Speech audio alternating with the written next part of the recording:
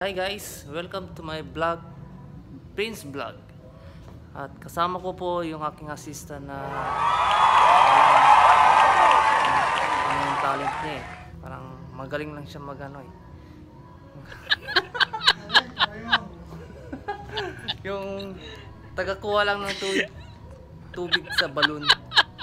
Yan yung specialty niya eh. Di ba bro? Ito ba yung ano namin setup? Okay guys. From Prince Party Balloon po. Follow nyo po pala ako sa sa YouTube ko. Bago lang yun eh. Wala pa masyadong tawag dyan subscriber. Yan. Yan ang venue namin. Nasa Family Fried Chicken po kami ngayon. Dito sa may Canilar. Gusto niyo po mag-birthday, dito lang po kayo pumunta sa Family Fried. Inquire lang po kayo sa kanila. Yan. Okay na po. At aalis din kami. May next event pa kami ngayon, Regency. Okay, sige na po. Paalam.